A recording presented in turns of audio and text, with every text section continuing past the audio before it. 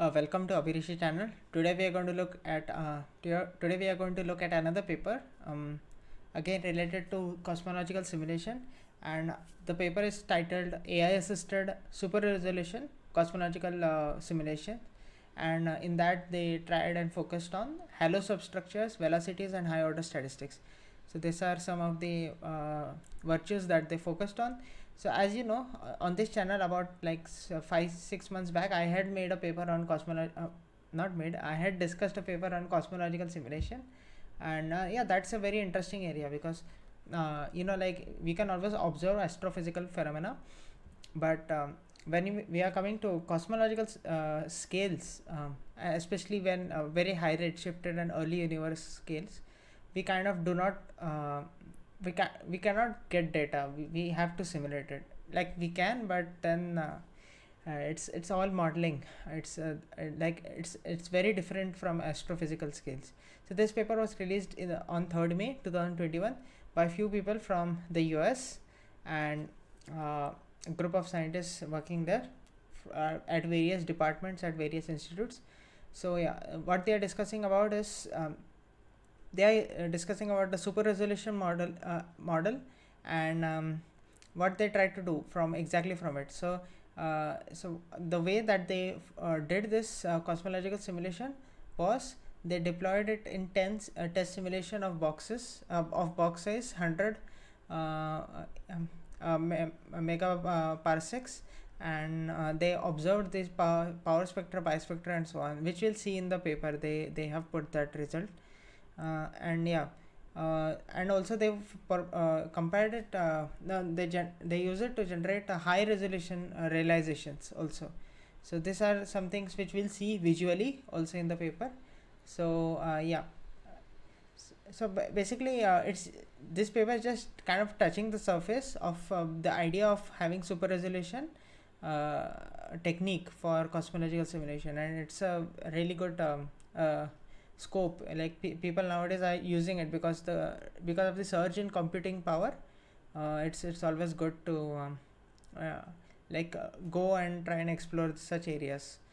Okay so this is the introduction just talking about how cosmological simulation has been uh, has been done in the community for the last 40 years.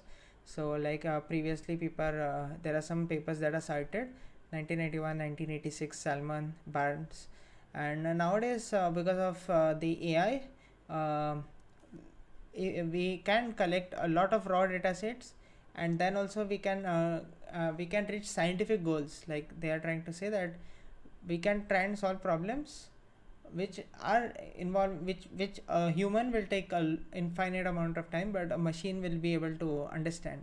So it will be able to understand a fair representation. So that's the main uh, idea behind all this uh, new uh, machine learning techniques that are existing nowadays.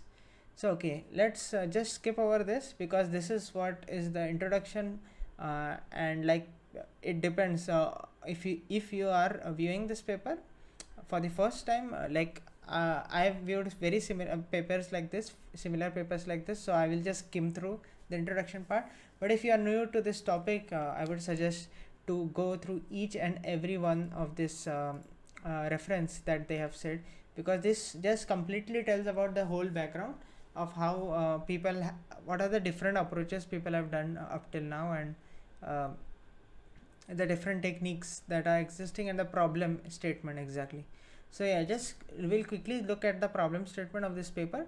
So they uh, we improve the uh, super resolution method and compare the statistics against the high resolution results so the motivation is uh, in addition to three dis- uh, three dimensional displacement field, we also generate SR enhanced three dimensional velocity field, expanding the model to full uh, to cover the full six dimensional phase space. So this is the high HR uh, kind of uh, results that they are trying to see, and they tried tried and visually also saw the clustering. So the first attempt at predicting spatial clustering as well as internal substructure of halos uh, in this simulations so yeah this this simulations have been designed as they told at 100 uh, uh, megaparsecs and a very uh, big data cube that they have taken and done the simulation so the me- the method that they have discussed uh, okay so that's it gets very technical and it will take like a two or three hours long video it will be if I uh, go and explain it in detail. But I think uh, just in a nutshell, it's like n-body simulations are being done. Uh, if you want to like simulate as uh, cosmological phenomena, the main uh, kind of um, technique that people try and use is use n-body simulations. So it's just an n-body input, and then whatever the basic physics goes, you have the Lagrangian you describe, and then you have a displacement field, you have a velocity field, and um, then you kind of construct uh, now in this case they constructed uh, out of the Lagrangian 6D uh, phase space distribution of this n body. And then this is just a just a normal n body but they have put the parameters which are generally used in cosmological simulations.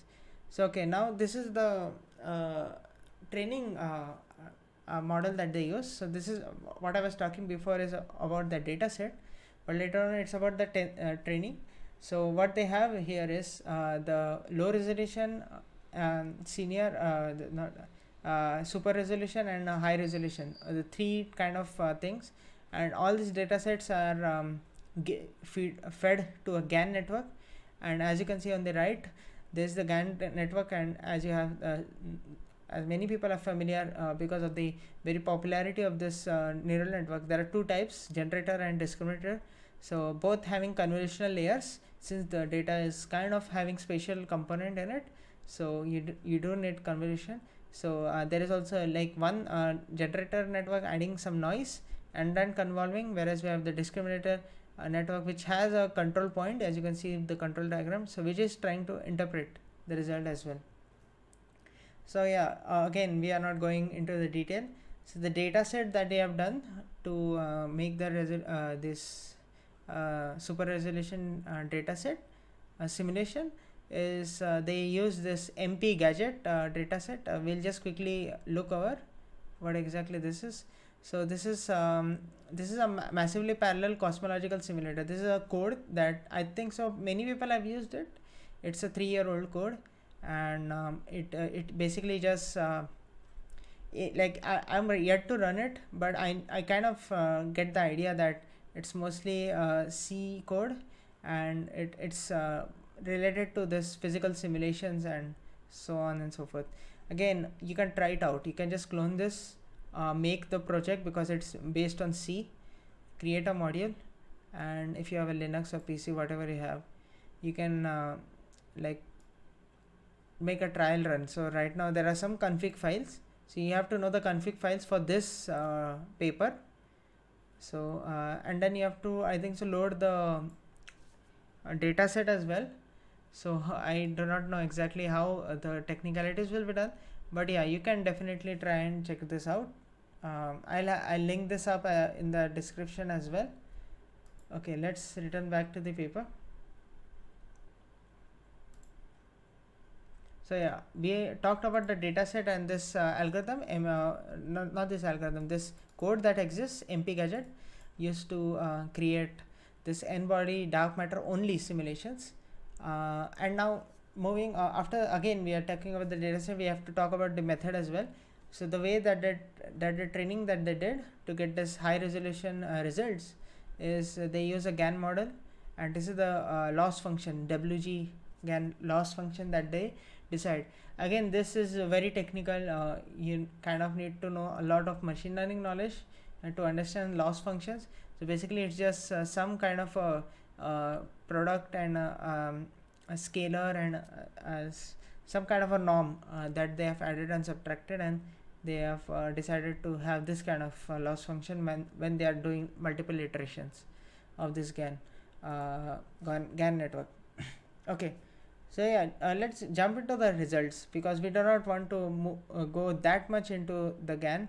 So as you can see um, this is the paper which was released last year by Li uh, and it uses this map2map to train. And I think so the previous paper I covered on this channel uh, also had a similar kind of code. I'm not sure but yeah it was uh, very similar. Okay now uh, these are the results as you can see this is the low uh, resolution uh, high resolution and super resolution. And these are the three dark matter only n-body simulations that were done uh, at varying uh, zoom levels. As you can see it's like 60 megaparsec 20 and 10 uh, it's not uh, yeah it's like different parameters basically. And as you can see it's quite visual. Um, you kind of get to know like it can be like dark matter halos and so on. It's like at, at this scale a galaxy is just a point. So it's like there are like trillions of galaxies in the universe. So uh, so you have if you are seeing at such scale the density field will be kind of homogeneous overall. But even though then uh, we we kind of need to understand a lot of things uh, as they try and go about. So there's a lot of higher order statistics spectrum and so on that they kind of try and uh, evaluated out of this data set okay so yeah this is again now very technical part talking about the statistics. So this matter power spectrum uh, okay this is again I use uh, again I won't go into the de details of it but it's uh, statistics for ma matter density field and it takes the Fourier transform for two point correlation function. Again explaining Fourier transforms and correlation functions will take hours and hours. So I won't go into the depth but basically it's like that. Um, yeah and um, they also use other ways of um, other uh, spectrums. So there is RSD which is redshift space distortion. Uh, this is again a very important spectrum I guess in cosmology. People use it a lot to study uh, matter fields and so on. And this is the kind of the statistics that they got at various red, redshifts level. Um, again it takes a lot of time to generate these graphs and also interpret these graphs. So I'll leave it to you to kind of understand it in uh, complete detail. But yeah this is now uh, another result that they are trying to show is uh, the visualization of these small uh, substructures. So as you can see with the red dot they are trying to highlight all these substructures. And you know like in, in a very very big um, simulation you want to observe substructures. So how the how they evolve time evolution and some so on so uh, all these things are very data intensive so that's why we, we are using this ai technique. So that's why it's quite quite interesting topic because super resolution itself is quite interesting and using ai on it is another challenging task to do.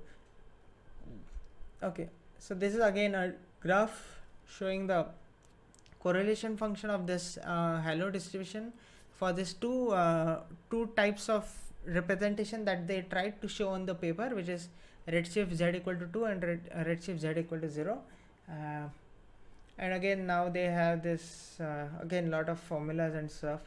Takes a lot of time but you guys get the idea right? So this correlation function uh, redshift as I told SRD is redshift space uh, correlation function and yeah basically uh, it's just a general paper trying to again touch the surface. There are a lot of things that can be done. Um, and yeah now just coming to the conclusion of the paper um, it's like what the paper tried to address was uh, to compare the power spectra halo functions clustering and bispectra from all this uh, data set that they had.